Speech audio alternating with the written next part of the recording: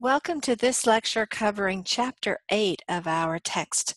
Uh, the title of this chapter is The Proper Form of the Contract, the Writing. Um, let me get started, even this is the second lecture, let me just do a very brief a recap of what we covered in the first lecture. In the first lecture, we discussed the statute of frauds. That's our first item on our three item to do list for this chapter.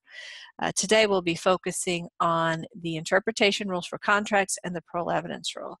No worries though, these two should go faster than to even in even though we're covering two topics than the single topic of statute of frauds all by itself. And again, whenever we think about statute of frauds, a good way of thinking about it is the my legs term. Um, I'm just going to flip over here for a second so you can see the my legs.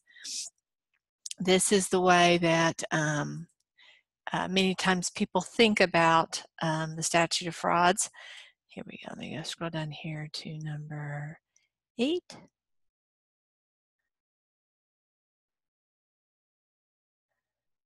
And here we have the mnemonic device, my legs.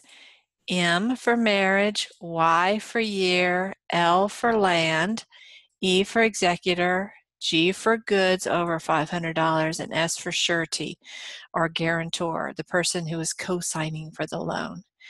Um, so we covered those, uh, my legs, and we went through these topics. We even discussed um, what type of writing satisfies the statute of frauds.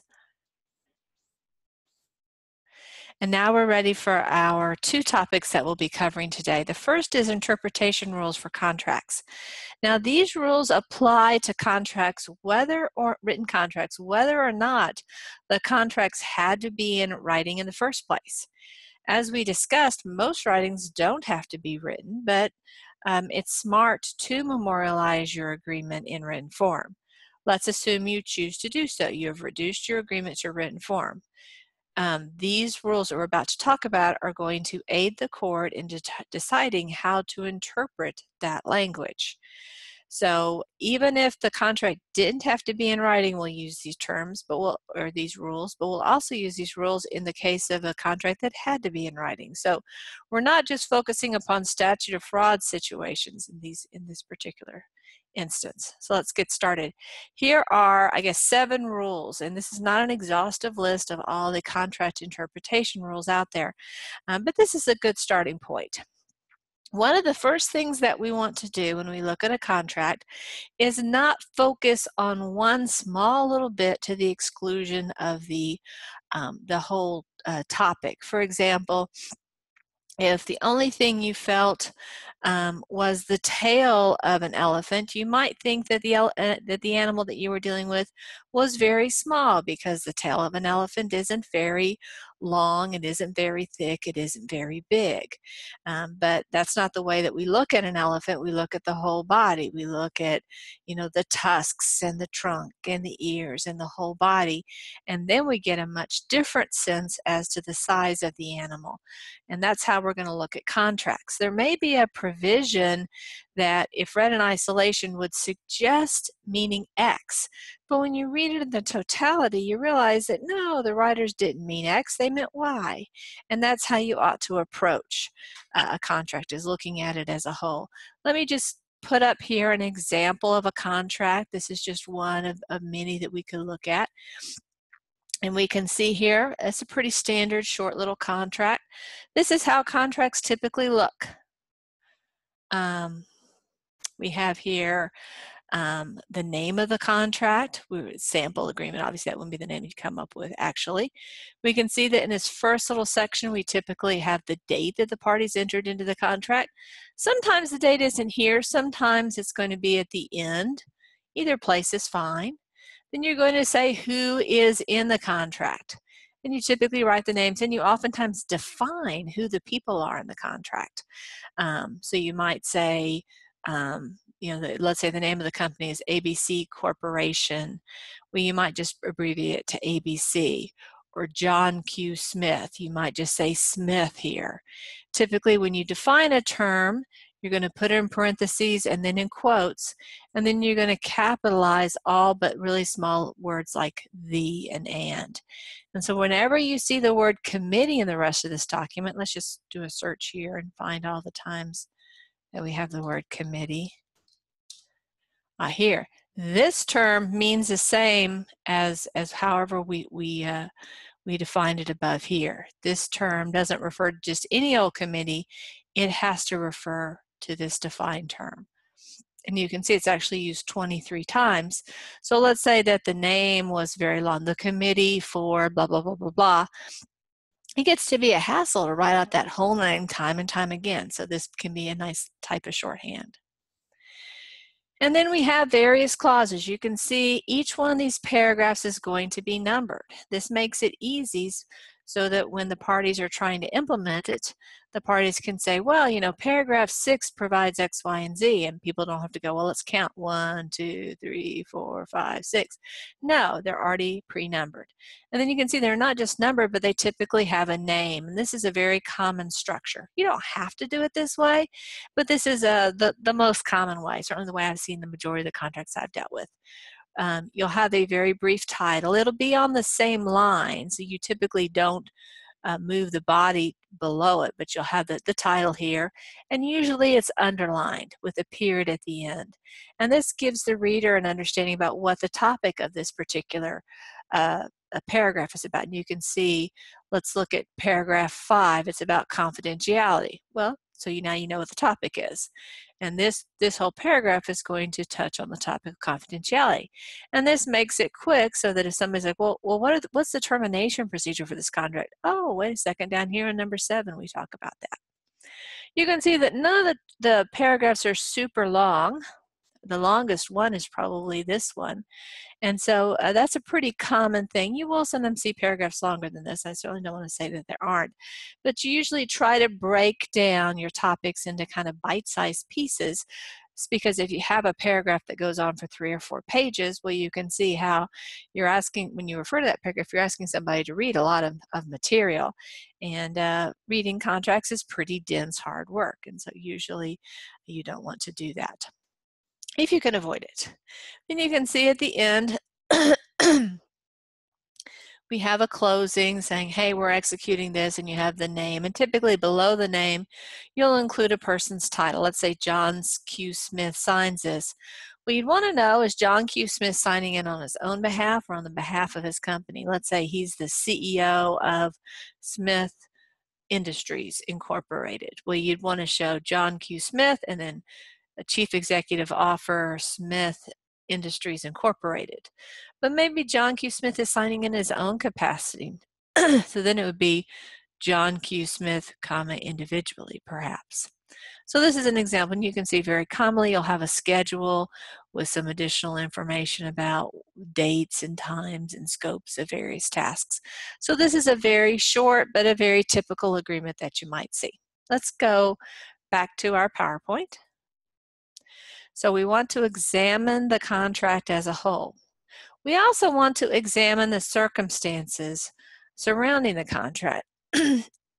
if you know what was happening that led to the parties entering into this contract that was going on in the businesses, sometimes that can help you make sense out of why the people entered into this contract, what they what they were trying to accomplish, and what the terms are that they were planning on developing. It can also be useful to understand the circumstances to decide whether something like undue influence or um, duress or fraud or something along those lines. One of those topics we covered that would destroy mutuality of assent. Related to this item is this item to determine the primary purpose of the parties in entering into this contract. You can see how the circumstances are going to give you insights as to the purpose. So let's go let's look at number two and number four and, and the part that might be most especially useful in a contract to establish is other than of course going outside the four corners of the document would be to look at the recitals. Not all contracts have recitals. For example, the contract I was just showing you doesn't include recitals. Um, what is a recital? Well, I'm not talking about, you know, a ballet recital or anything like that. Uh, we're talking about recitals as in I'm reciting something, I'm repeating something, um, I am citing something again, is of course where we have this term here. And here's an example of what a recital might look like. Hastings sub 1, that must be a defined term, so this is one of the parties to the contract most likely, is a wholly owned subsidiary of Hastings. Again, probably this is a defined term. Hastings sub 1 owns and operates, collects and collection and hauling operations, transfer stations, landfills, and recycling facilities in the state of New York. That business, the business. So this is a defined term. Mr. Hastings is Chief Executive Officer of Hastings and Hastings Sub 1. So this is giving you some sense as to the organization of this entity. And again, that's covering some of the circumstances surrounding the contract. Let's go back. JARO, the Hastings parties, again, this is most likely a defined term, Hastings Newton Inc., a New York corporation, a wholly owned subsidiary of Hastings. So now we have this. All of this is being defined as Hastings Sub 2. And Raven Fund Limited, a Bahamas corporation, all of this is being defined as Raven. Are party to a letter of intent signed on this date concerning sale of JARO and of assets of Hastings Sub and Hastings Sub 2, letter of intent. So all of this is defined as the letter of intent. So you can see it's giving you kind of what where people were organizationally, what they were trying to accomplish. It tells the story of how we got there. Once you tell this whole story, then the parties start with the actual agreement. These are the actual terms. These aren't actionable. This is really like almost like a novel. I mean, it's true, but I guess a nonfiction book.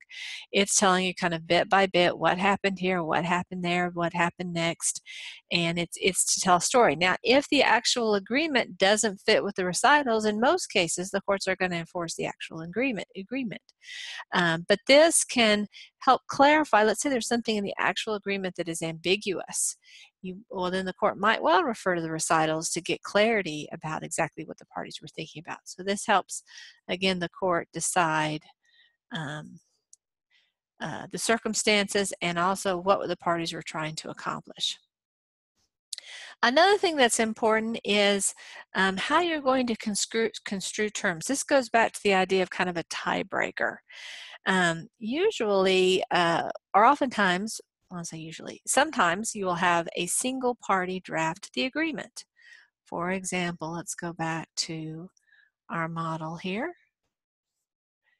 If we were to use this, somebody located this agreement, and my guess is that um, it's something that either uh, uh, it's either prepared that kind of is to the advantage of um, the committee or to the advantage of the contractor. So let's say that it tends to be to the benefit of the contractor and you've dra you've drafted this you usually represent contractors and this is kind of your boilerplate that you do well you can see um, that uh, you would probably draft it in a way that is going to be um, kind of favoring your side, so to speak. You know, I mean, I'm not saying it's unfair or secretive or anything like that, but um, you know, there's ways of writing things that kind of gives one side a little bit of an advantage over the other.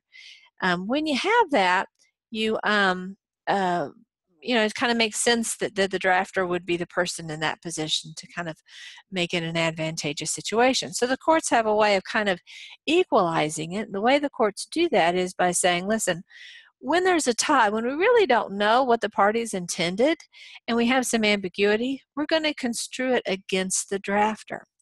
And uh, the reason for that is, well, the drafter is the one who chose the words. If he or she wanted to be more precise, he or she had the opportunity to be more precise. And so we're going to assume if there's a real tie, tie goes to the person who didn't draft.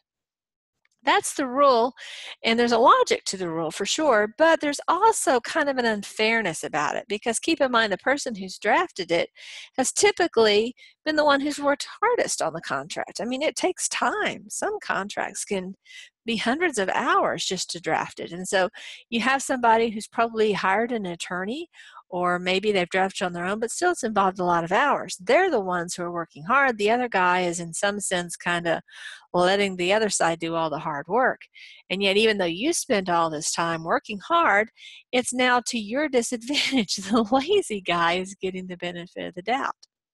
As a result, typically when you see one side um, having most of the drafting responsibility.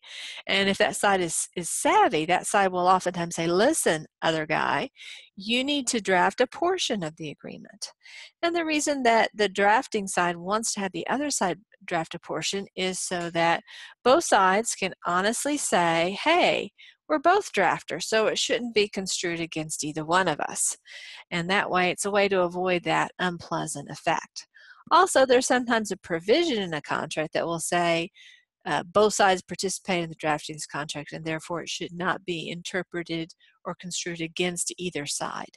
So that's an important thing to think about when you're drafting it. Consider, even if you're the main side that's drafting, consider giving the other side at least some language to, to draft the first drafting on. Now, keep in mind, um, if it's if they're two sophisticated parties, there's going to be a back and forth. People are, like, oh, I would prefer this language. Well, I would prefer this language, and so you probably are going to end up with something that's kind of halfway between where the parties are. We've already discussed the primary purpose idea. Let me just check these off. We've talked about this one. We've talked about this one. We've talked about this one. We've talked about this one. Now we have the issue of give common words their plain meanings. Um, let's talk a little bit about that. We'll put a word up here. You probably are familiar with this word if you speak English. This is a very common word. Before we go any farther, I want you to jot down on a piece of paper, or at least mentally jot down on a piece of paper, um, a very brief, less than, say, five word definition of this term. I mean, it's a word you use probably every day, so it shouldn't be hard for you to come up with a really short definition. I'll give you just a second to do that.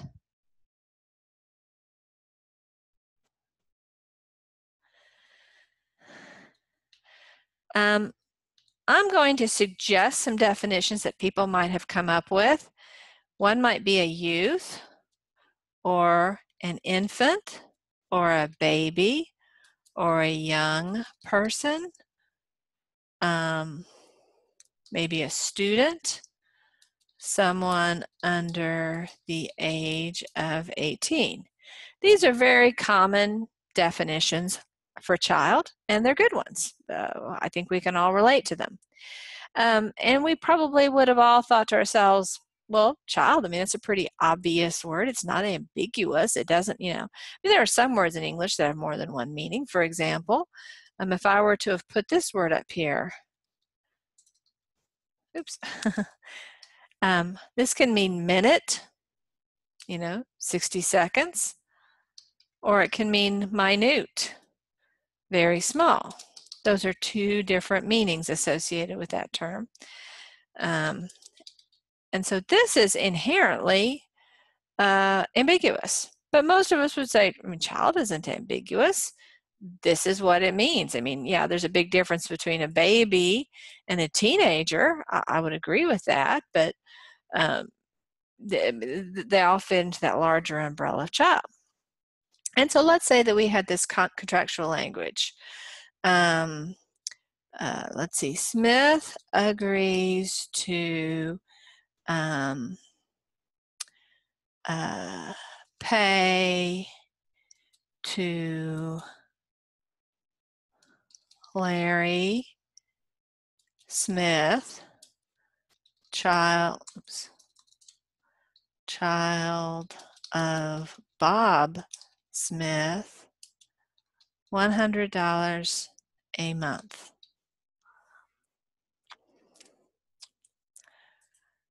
Okay, so we have the term child here. Let's assume as a background fact, maybe this was in the recitals, maybe we just know this. Larry Smith is 16 years old and 16 years and two months old. Okay? So now we're trying to decide when does Smith's obligation to Larry Smith end? Well, if it ends when Larry Smith stops being someone under the age of 18, in other words, he stops being a child, then we would say that he's got, let's see, 16, 3, 16, 4, 16, 5, 16, 6, 16, 7, 16, 8, 16, 9, 16, 10, 16, 11, 16, 12. That's 10 payments. Um, while 16 and 12 payments while 17. So we have a total of 22 payments.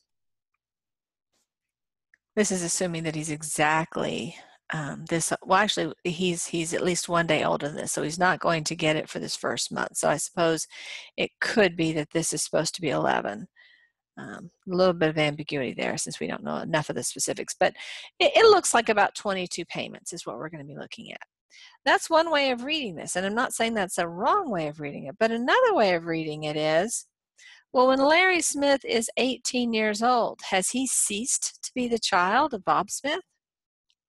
And in fact, when Larry Smith is um, 28 years old, has he ceased to be the child of Bob Smith? Well, no, he will always be the child of Bob Smith. When Larry Smith is 99 years old and Bob Smith, his dad, has been dead for, you know, 70 years, Larry Smith is still the child of Bob because child has another meaning in English. The offspring of the parent, right? Even if the offspring is an adult. So this is an ambiguous uh, provision because we don't know whether they meant that the payment should end when Larry Smith ceases to be a youth or if it's intended to go on forever and that Larry, the, that Smith is always, let's not make this Smith, let's make this Jones here. Jones is supposed to pay Larry Smith for the rest of Larry Smith's life. Um, and that this is this uh, child of Bob Smith is de- designed to define which Larry Smith we're talking about, not when the obligation is going to end. Both interpretations are reasonable. Let's see. So this is one way. Let's let's do another way. Let's say Larry Smith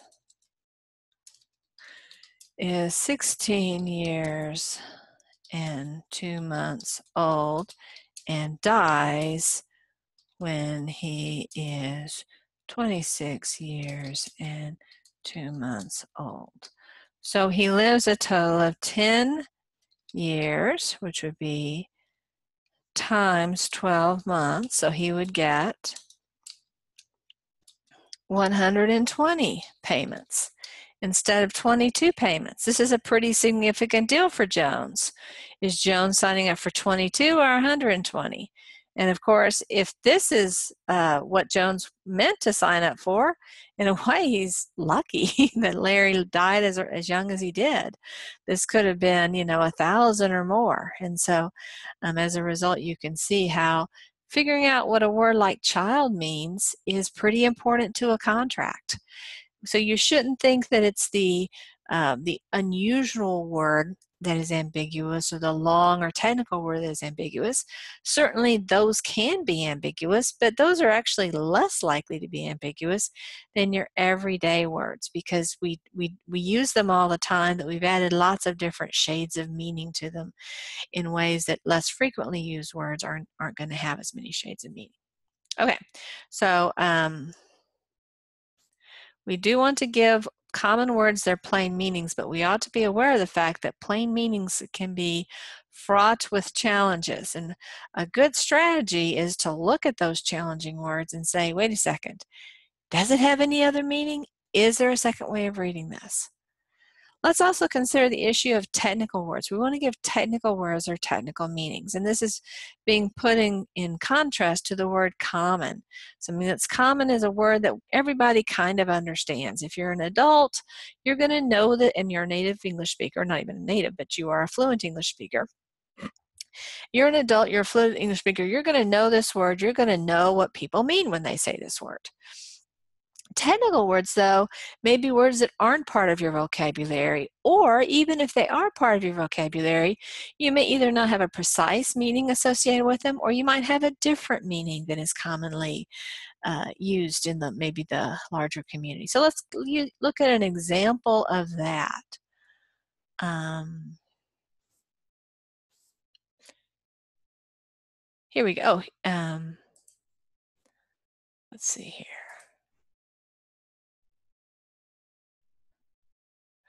Let's go ahead and look at definitions first, then we'll look at, at um, technical terms. Here are some defined terms, again, and just an example agreement. Um, here, just looking at some of the things we've already looked at, see we have a title, and we have that initial provision. You can see that they have defined their franchise renewal agreement as the agreement or the franchise. And you can see it's between the City of Davis, which they're calling City, and Comcast of California X. Incorporated, which they're calling the grantee. This looks probably like a recital right here.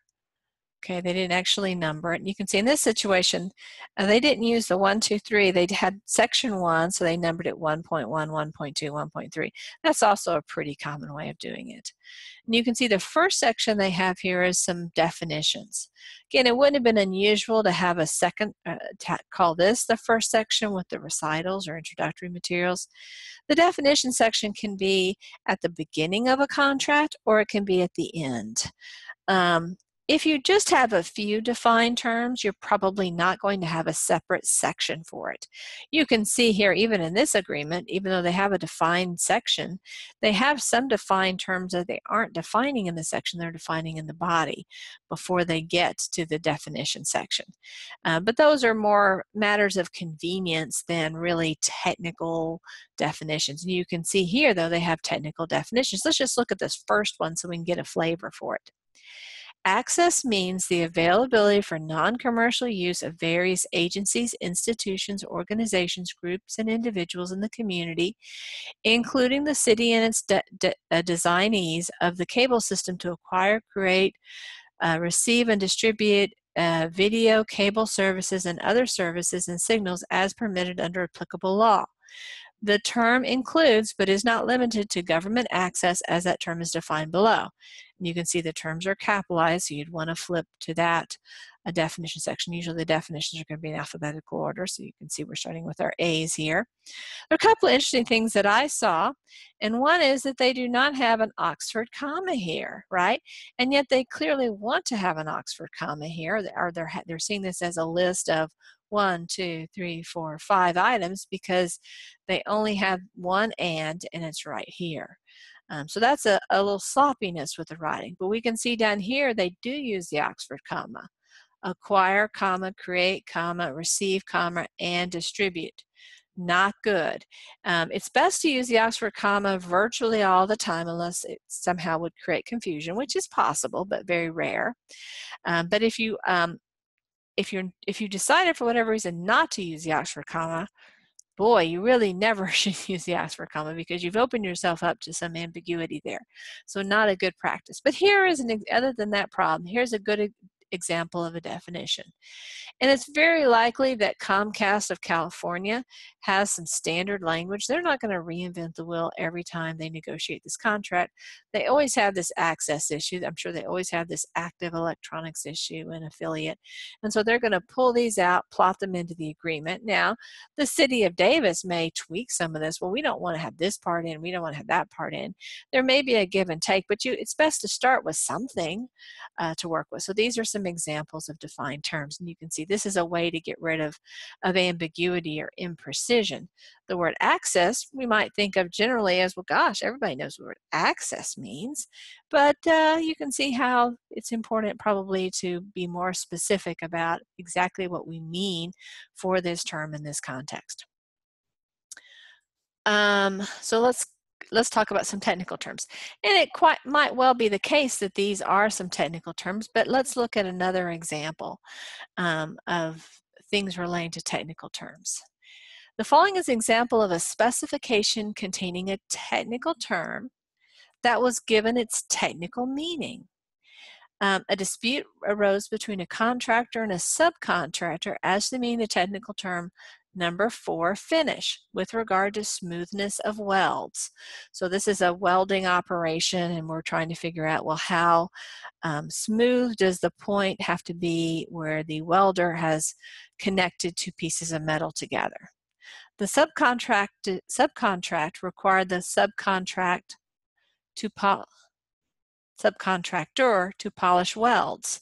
The specification read, polishing of the welds is a part of this contract. All services welded to be finished to a number 4 finish with a maximum roughness finished tolerance allowable of 42 microinches.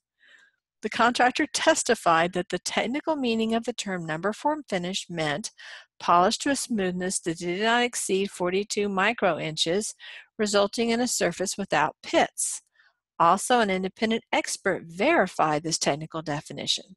The court held that the subcontractor incorrectly interpreted the requirement he should not be allowed to polish the weld less than required by the contractor's definition. The court stated, the parties used terms which have a definite meaning in the industry and may not now be heard to say they did not use the terms as the industry um, understood them.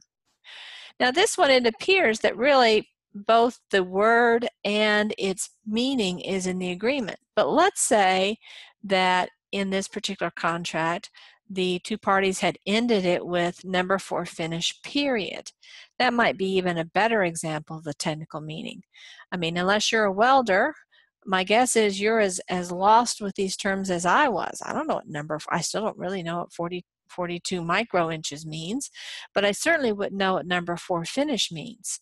You know, it doesn't always make sense to define these terms uh, when everybody in the industry knows. It's a little bit like when we're writing a contract, we don't define the word, you know, the, or we don't define the word contract in a contract. I mean, if you have to define everything, your contract is going to be so, so long.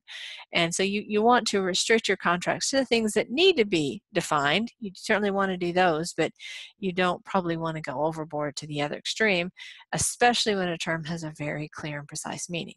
So we're not, so when we see number four finish, we're not going to say, well, gosh, I know what the word for means. I know what the word number means. I know what the word finish means. No, but I mean, I know what each one of those words individually means in common English, but I don't know what they meant because they had a technical meaning associated with that. And the courts will look to people in that industry to get that technical meaning. Okay. And let's consider also let negotiated provisions control over standardized ones. Here, let's, um, I have some arbitration clauses in here. These are oftentimes what are called boilerplate. When you hear the term boilerplate, um, these are terms that people use, or excuse me, clauses people use again and again. Again, you will you will discover in your career that you will often uh, cannibalize contracts that you've used in the past or that you are borrowing from other people take a clause from here, take a clause from there, uh, use uh, some some uh, contract bank to get everything that you need, and then bring them together. Yes, you're going to have to tweak them. Uh, some of the language isn't going to fit exactly right. You're, you're, you won't flow very well if they're all written different styles, but it's a good starting point. It's going to save you a tremendous amount of time and you'll end up with a better product because these models people will have thought and thought and fussed and fretted about it for a long period of time.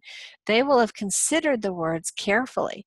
If you're drafting from scratch, that's a, that's really really hard because you have to sweat over every word, every comma. Think very very carefully about it.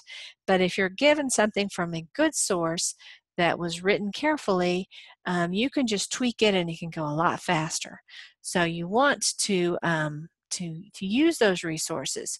But when you are working with boilerplate like these, you um, are probably not going to negotiate too much over. Let's say both you and the other side has agreed to arbitration. So you might say, okay, I'll just stick in our standard arbitration clause. And maybe it's this one right here, arbitration. All claims and disputes arising under or related to this agreement, and you obviously have to change the name if you've defined your agreement with a different name, are to be settled by binding arbitration in the state of, we'll say Texas, or another location mutually agreeable to the parties. An award of arbitration may be confirmed in a court of competent jurisdiction. So that's some boilerplate.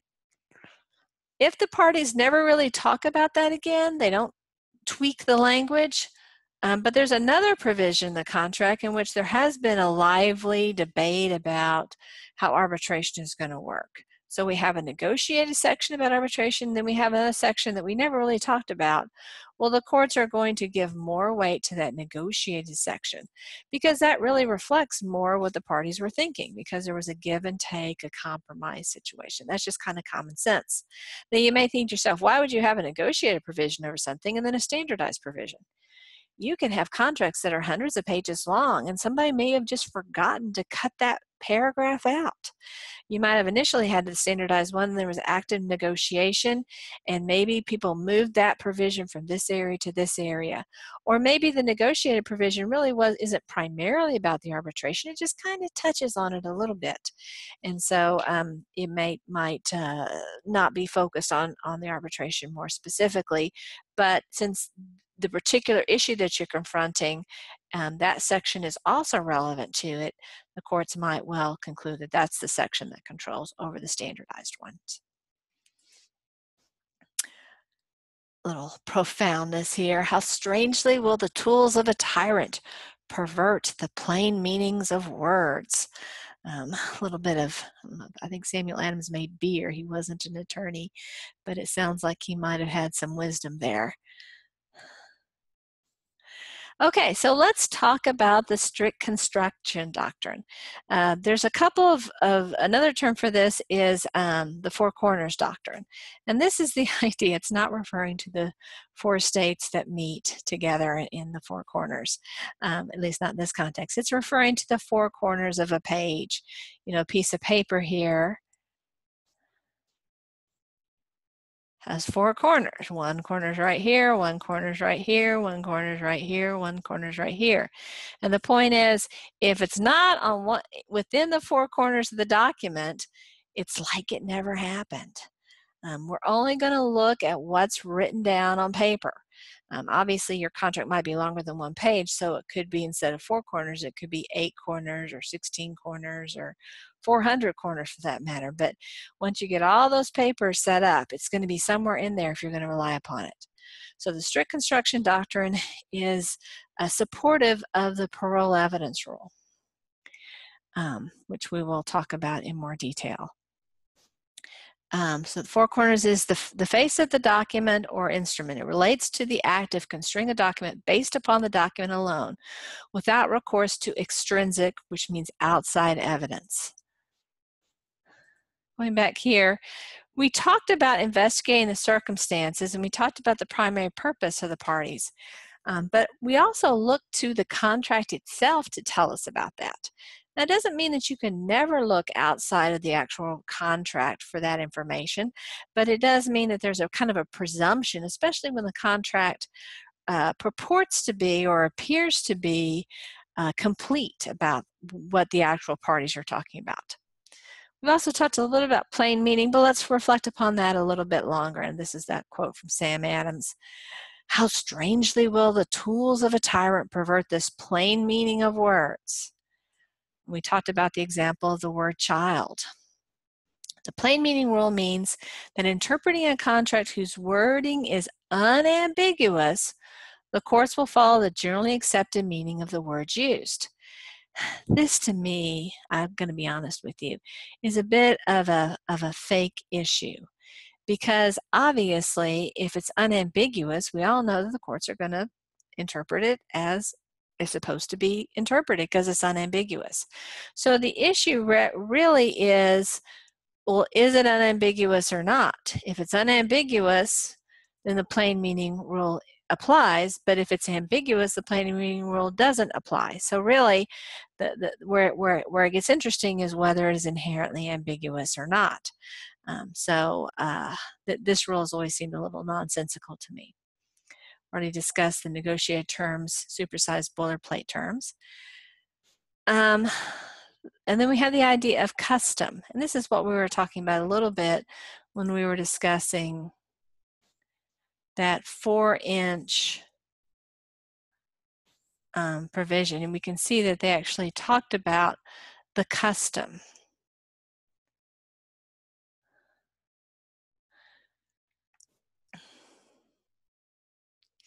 An expert, an independent expert verify this technical definition. This is the customary definition that is used under these circumstances. And so custom is important to figuring out how to interpret terms within a contract. Let's consider types of custom. We have kind of an, a funnel here. So let's look at the red level of the, uh, so we're gonna say this, this level right here.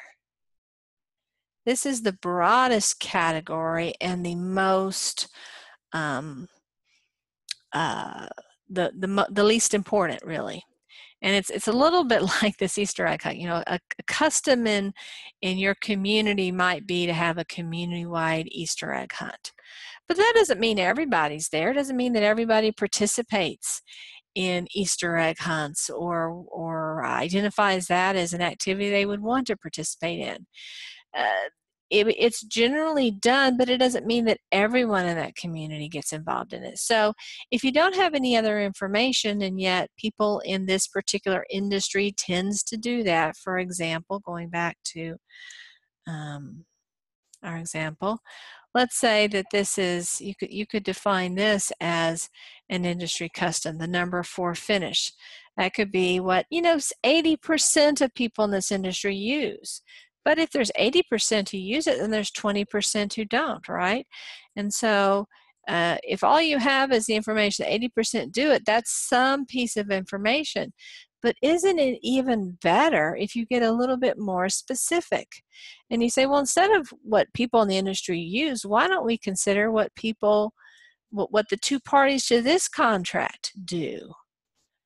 And that is the course of dealings. So now we're not talking about the whole community. Maybe we're talking about a particular neighborhood in this larger city. Maybe this particular neighborhood um, always has an Easter bunny, or one of the parents dresses up as an Easter bunny and, and goes and meets the, the kids as they are uh, looking at, at their Easter, they're dressed in their Easter uh, hats and dresses and suits and all that cool stuff. And so uh, that's more specific. Um, to the actual uh, people who are involved in this situation. So it's going to be more precise, it's going to be more accurate information. In the context of contracts, we're actually, let's say that it's uh, Smith and Jones are involved in this. We're actually talking about what has Smith and Jones done in previous contracts. I mean, it doesn't mean that in this new contract they didn't want to do something different, but if we have a history of them entering into uh, the same contract for several years in a row, and they've always had provision X, or they've always done provision X, even if it wasn't part of the formal agreement, it's always they, what they understood what they were going to do. Well, probably they wanted to do provision X in this next agreement, unless there's language saying, oh, let's not do provision X anymore, okay? And so that that's even more uh, persuasive reasoning, more specific reasoning. You can see the funnel's getting narrower. Of course, the most persuasive is going to be this particular contract. What did the parties intend to do and what have the parties done with respect to this particular contract? You might say with respect to the Easter egg race, what does a particular family do? It might be that a particular family doesn't even go to the neighborhood Easter egg hunt. Maybe the family isn't religious or maybe they are of a different religion. Or maybe they have their own customs. Maybe they do their Easter egg hunt in their backyard or maybe they um, don't do an Easter egg hunt. They uh, go and um, have um, maybe they, they go and work at a food kitchen or something like that to uh, to uh, for the for the holiday purposes. And so again, this is even more specific than the course of dealing because this is about this particular contract. it's the most specific, it's the narrowest part with the most accurate information. So if the court has all three of these pieces, but they all don't lead to the same meaning, this is the one that's going to be given the most weight. Now, many times, of course, all three of these pieces will be saying the same thing, and then they all just reinforce each other. But if one, if this one doesn't gel with the bottom two, then the court's likely to reject this one. If these two aren't consistent with this, the court's probably going to reject these two and stay with this. But if they reinforce each other, that's just going to increase the, the uh, weight of that evidence. Okay, so now we've talked about, again, in our first lecture, the statute of frauds, and now we've talked about the interpretation rules for contract. I briefly mentioned the parol evidence rule, but now we're really going to talk about it. The parol evidence rule is kind of a cool rule. The first thing to, uh, to share with you is that before we get into specifics, the parol evidence rule is a good thing you as a legal professional want it to apply to the contract that your client enters into. You may say, okay, uh, well, what is the rule? But before we get into the rule, I just want to make it clear we like this rule. Legal professionals like this rule. So let's go forward and talk about it. The parol evidence rule. This is um, from the textbook's glossary. I borrowed this, so it's not from the actual textbook chapter. So the parol evidence rule is a rule that written contracts may not be varied. When we say varied here, we mean altered. So think about the word altered.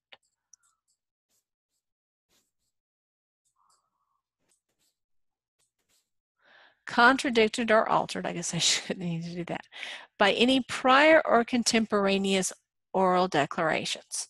So imagine that um, Bob and Teresa are negotiating a contract.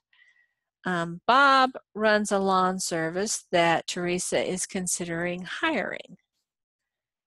And one of the features that Bob offers is that he will mow and um, edge the lawn um, uh, once a week and on the, and every four weeks he will trim any shrubbery. That's an additional service once you've had once you've had four lawn mows. Um, he will throw in the, the free pruning for that uh, fifth time that you're paying for the lawn service. That that's a deal that Bob regularly offers his clients. And in fact, Teresa and Bob have talked about that a lot. And Teresa said, "Yeah, that that sounds like a really nice deal. I I really like that idea. My my bushes do grow pretty much over the summer, and I don't really like to trim them. So, I um I would would enjoy having that that every every four or five weeks uh, plant trimming. Bob goes, okay, great. A um, few days pass. Bob stops by Teresa's house and says, Hey, Teresa, here's the contract. As we discussed, it will be $25 a week for the lawn service. I will mow and edge your front and back yard. Teresa looks at the contract. Yeah, it says just that. Teresa signs, Bob signs, Bob goes about his business. Uh, the next week, Bob starts the lawn mow. He mows the lawn, he edges it. Teresa pays $25. Maybe she leaves it under the doormat. And this goes forward for the first four sessions. The fifth week, Bob mows and edges just like usual. Teresa has the $25 check underneath her doormat. The sixth week, Bob shows up and Teresa's waiting there and she looks kind of perturbed. Bob, last week you didn't prune my bushes. Um, you know, w- w- did you forget? Are you going to do it this week? What's the deal? And Bob goes, Oh, well, uh, that's not a provision in our contract, so I won't be doing that. I mean, I'll do it for you if you pay me money, but that's not what our deal is. And Teresa says, But we talked about that. That was what we, that was one of the things you said that, that was going to happen. I said, well, you know, I, I threw that out there as a possibility. Certainly, we talked about that as a possibility, but when we actually had the contract, that wasn't in it, and so therefore, I'm not going to do that service. So let's say Teresa sues Bob over in small claims court. Well, Bob is going to have a pretty good argument because all those conversations between Teresa and Bob happened prior to the signing of the written contract. Perhaps it happened around the same time, so you could argue maybe it's contemporaneous. But if Teresa really wanted that, that pruning to happen, she should have read the contract carefully and made sure that that was documented. She chose not to, and so therefore the court isn't going to allow her oral testimony. The idea is hey, Teresa, if you want the bushes to be pruned, make sure it's in the contract before you sign on the dotted line. Um, if you don't care, then don't get mad and don't care enough to read it, then don't get mad when it's missing from the contract and you don't get those advantages that you had had hoped you had contracted for. So that's the takeaway. That's why you want to make sure that you you separate uh, the negotiation process from the actual writing of the contract. Um, the reason that we always want the parol evidence rule to be in effect is that there's going to be a lot of give and take in negotiation, especially over something significant. Lots of ideas are going to be thrown out and rejected and changed and tweaked and all that kind of stuff. And people are sometimes going to forget oh, was that just a negotiating posture earlier? was that the final deal? And sometimes people forget, sometimes people don't they're not completely honest. And that's one of the reasons why we write this down, put ink to paper, so that we have a permanent record so everyone say, yes, this is the deal. This is what we decided. And they can look it over and they can tweak the language and they can, why'd you put it here? Why did you say this? I think we ought to do this. It gives you one last shot to get it right. Um, but if, if somehow or another, whatever you've spent that blood, sweat, and tears to write it down, if somebody can come back and say, well, yeah, I know I signed that document, but I really wanted this deal. So I, I think this is really what our deal is. Well, that defeated the whole purpose of having a writing. So we want the parol evidence rule to apply. One thing that's quirky about the parol evidence rule is, is this word parol. Um, in everyday conversation, we actually have a kind of a different meaning for that. That word has an E at the end of it. And we may have, if you've watched, you know, Perry Mason or Law and Order or show like that, you've probably heard about people being on parole. They've been released from prison. Again, this has nothing to do with um, incarceration or being released from pari- uh, uh, uh, prison. You can see in the word parol, if you remove the P and you rearrange the letters, you will see that you have the word oral. Here we have an A and R and O and an L. That's kind of a good mnemonic for remembering parol. Having said that, technically the parol evidence rule is not restricted to oral statements. It could be something that had been in writing. Let's say instead of Bob and Teresa talking face to face, they had exchanged a series of email messages or text messages or facsimiles or even snail mail, right? And and those were part of that negotiation process but weren't part of the final agreement. Well, guess what? All of those written documents that were not incorporated into the actual final agreement, they also are going to be excluded from evidence. Again, because of that strict construction doctrine, those four corners we talked about before. Let me just refresh you on that strict construction doctrine, a narrow or literal construction of the written material. Four corners, the face of a document or instrument relates to the act of construing a document based upon the document alone without recourse to extrinsic evidence. Again, this is that parol evidence rule.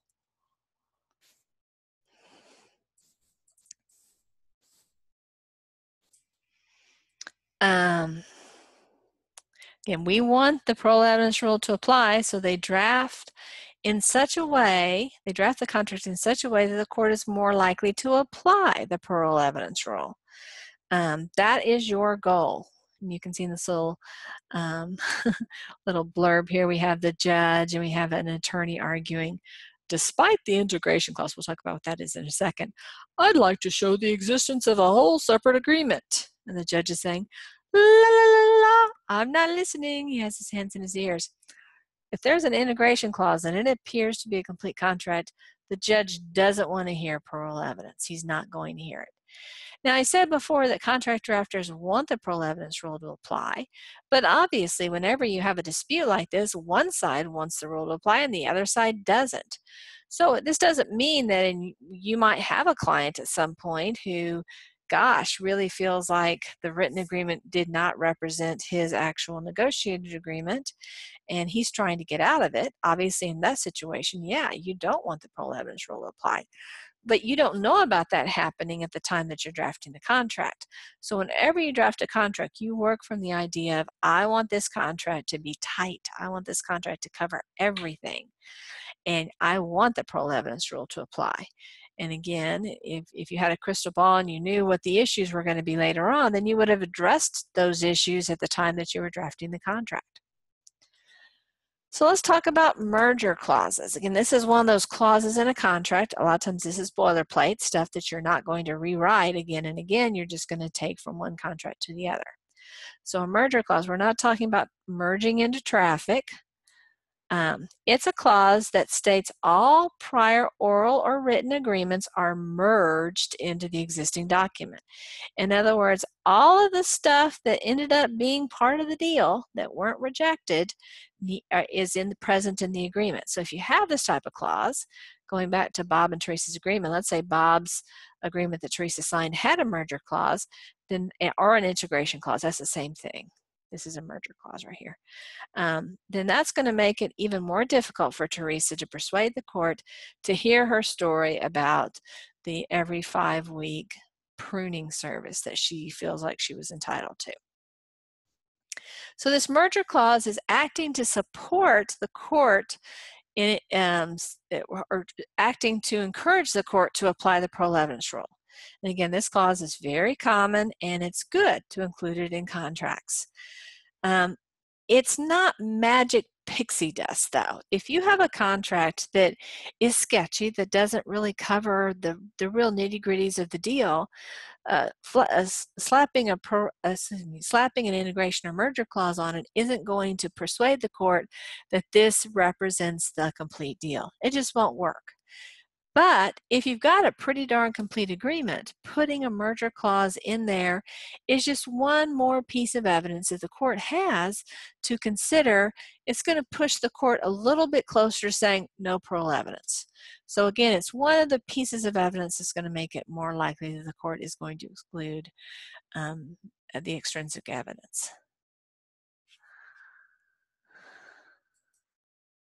And then of course, what the, you're going to want to use this merger integration clause in an integrated contract. What is an integrated contract? Many times people say a fully integrated contract because it's going to be in comparison to a partially integrated contract. So a fully integrated contract is a written contract that contains all of the terms and conditions of the parties' agreement and it cannot be modified by parol evidence. So your merger clause is saying, hey, our agreement is fully integrated. Let's look at an example of a merger clause.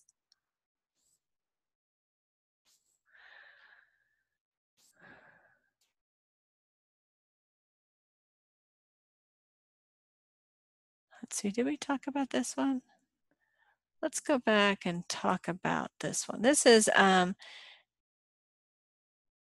Oh yeah, okay. So I'm sorry, I forgot about this one. I, I had pulled it up and then forgot to talk about. Let's go back a little bit, and this is um, kind of relating to the uh, standardized versus actually not so much that. It's more having to do with uh, technical versus common, and when there's ambiguity in the term. So there's another example of that. So here, this is the contract language that we're going to work with here. Note a scope of work. All work which is manifestly necessary to kiss will probably,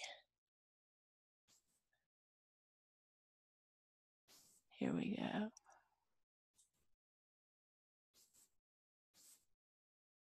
We're having a few technical difficulties there. Um, will, will fall within the scope of work clause. And you can see customarily performed. That's our scope. And so you have to know, well, well what, do, what do people do? I mean, you could imagine that that industry could have a different custom. They could say, well, whenever you um, uh,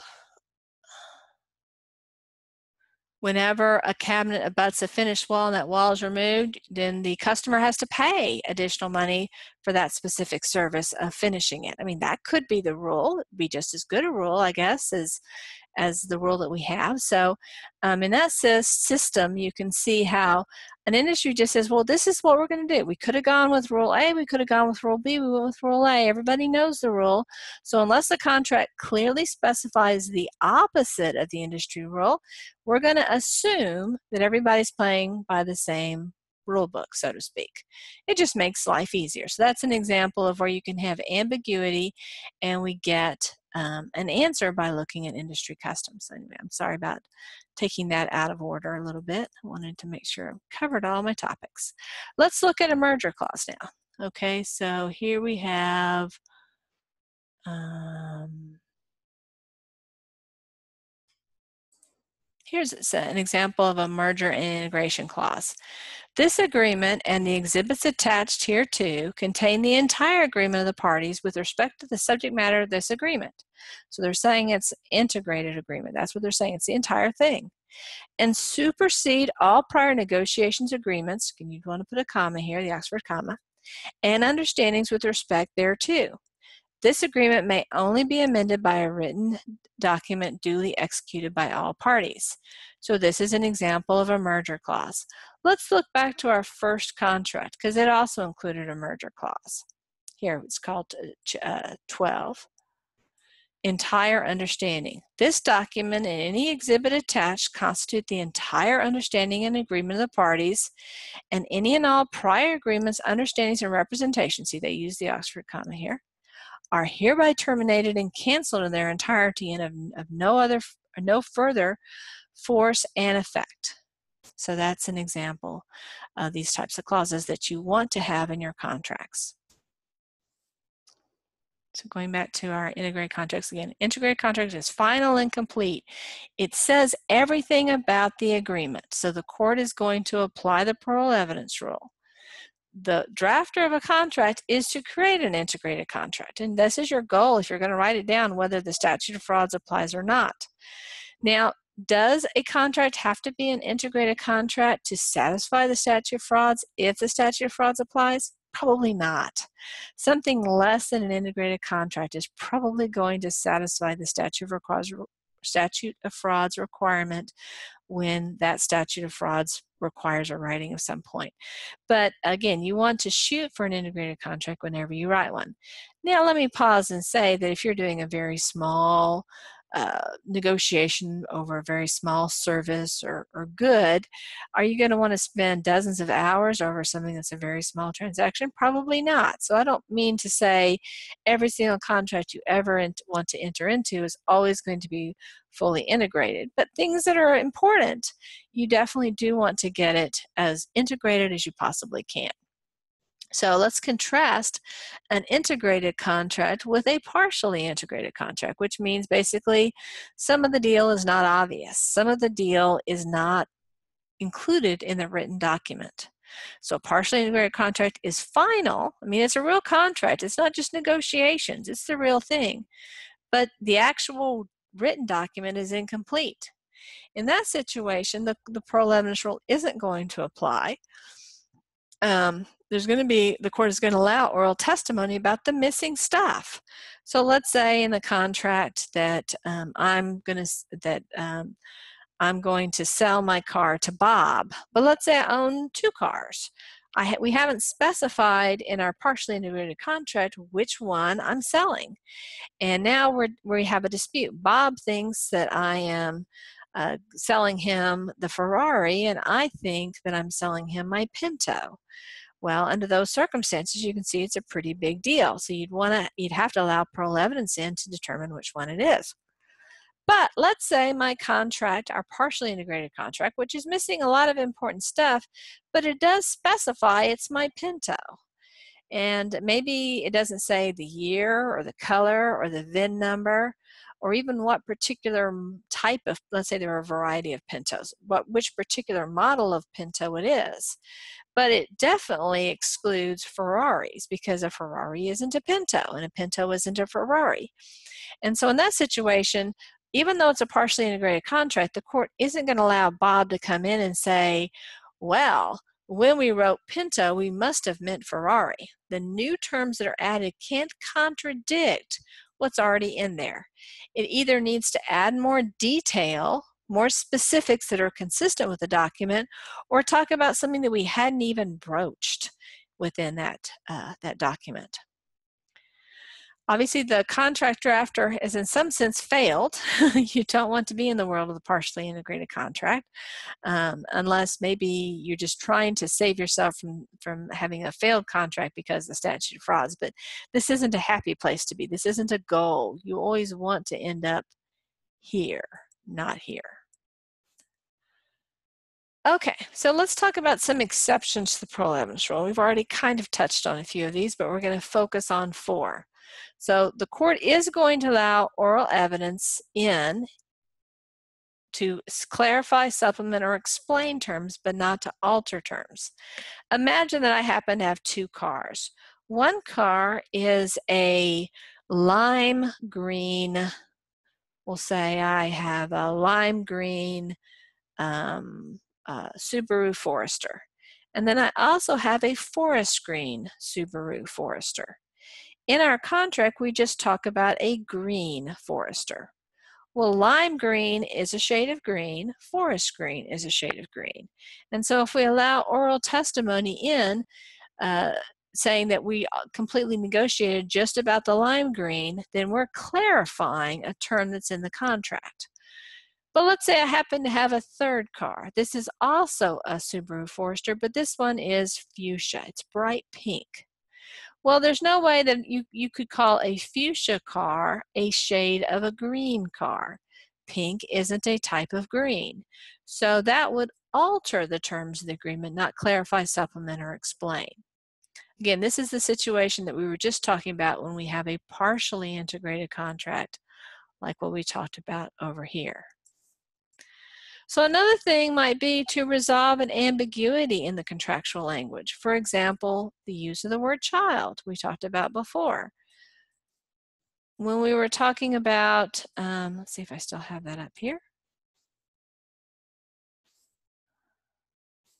Yeah, we're talking about this is our contractual language. If um, we'll say this is Mary Jones. If when Mary and let's say Bob, Bob and Mary were negotiating this agreement, um, one or both could present testimony about what they meant when they said that Mary was going to pay Larry $100 a month. Um, and Bob might say, well, this was, uh, we were just using child to define which Larry we were talking about. There's lots of Larry Smiths in our community. Uh, there's Larry Smith, who's the child of Harold Smith, and there's Larry Smith, who's the child of um, George Smith. And so we just provided child of Bob Smith so that everybody knew which Larry Smith we were talking about. And so that might be the backstory. And you can see that that is explaining why this language was included. So it's clarifying the ambiguity. And that is uh, likely to be allowed to clarify ambiguity to show that a condition precedent to a contract has not been met. Obviously, a condition precedent turns on an obligation. Let's refresh the definition of condition precedent. A condition precedent or a preceding condition, because this is the noun and this is the adjective. So if we flip the order and we say a condition preceding, a condition, a preceding condition or a condition that comes before a contractual obligation.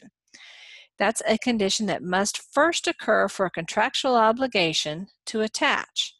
A classic example is um, I'm trying to buy Bob's house. Um, we've agreed on a contract price of $200,000.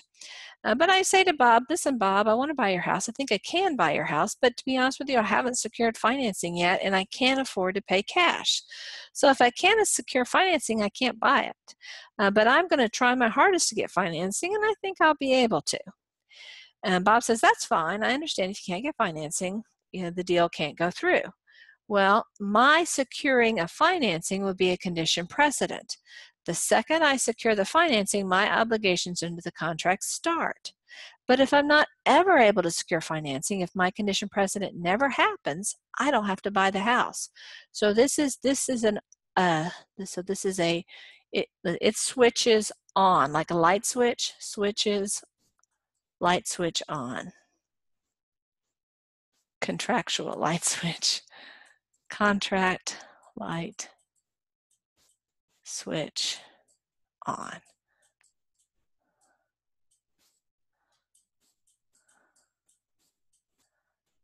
So you can see how the wording of the contract won't tell you whether the condition precedent happened or not because at the time of the contract, we didn't know one way or the other. So let me show you an example of condition precedent type language.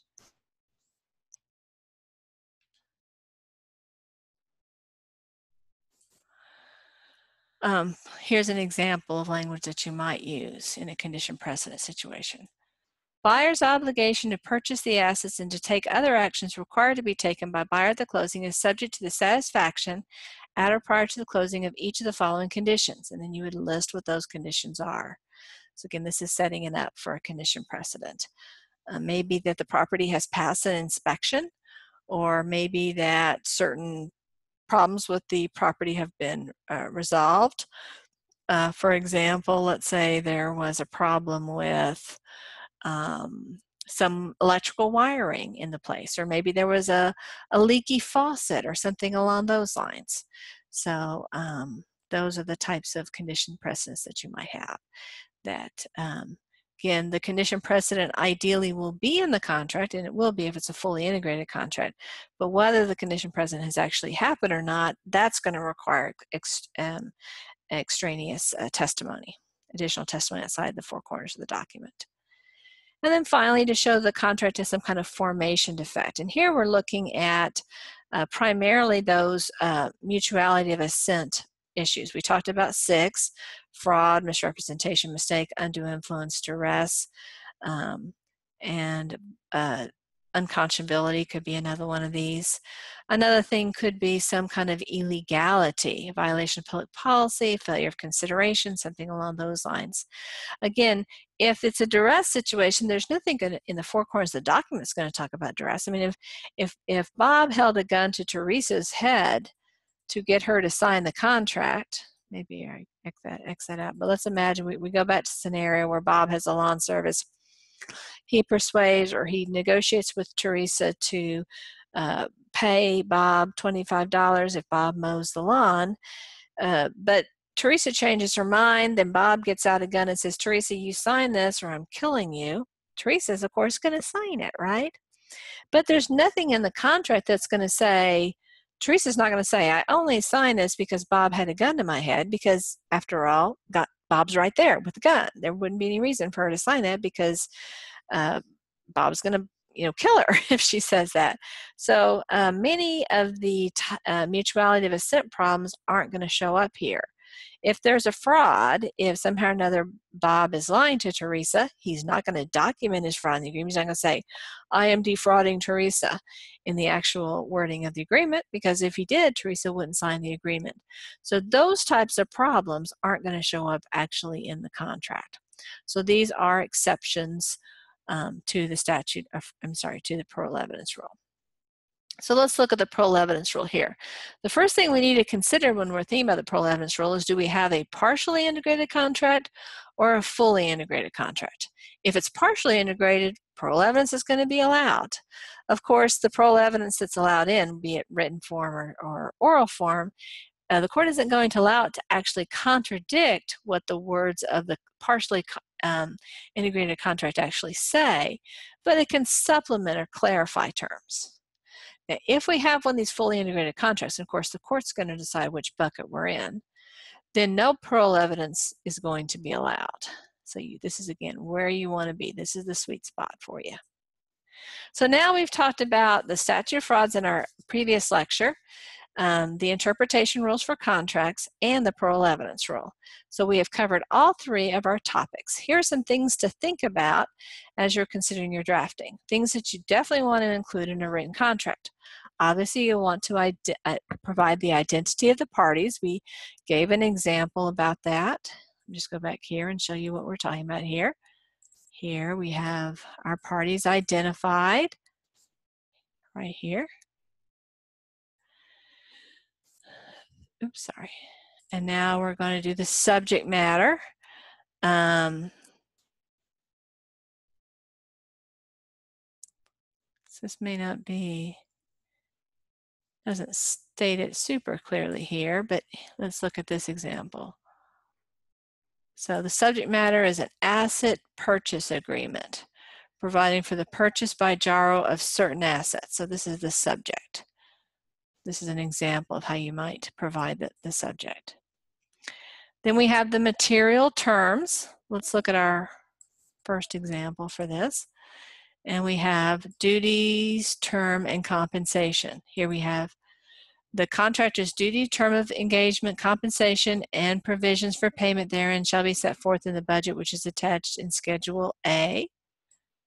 And so this is where we get the duties and the terms and the compensation in this section. The price or consideration, again, it's going to be the compensation right here. A place for signatures. We have a place for signatures right here. Um, we didn't have a merger clause on this one, but we saw other contracts that did have merger clauses. See, where's a merger clause that we had?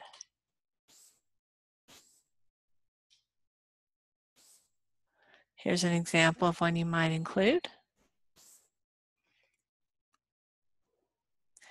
Um, and then this is an example, you might want to include a contract interpretation clause in which you say that both parties participated in the drafting of this contract.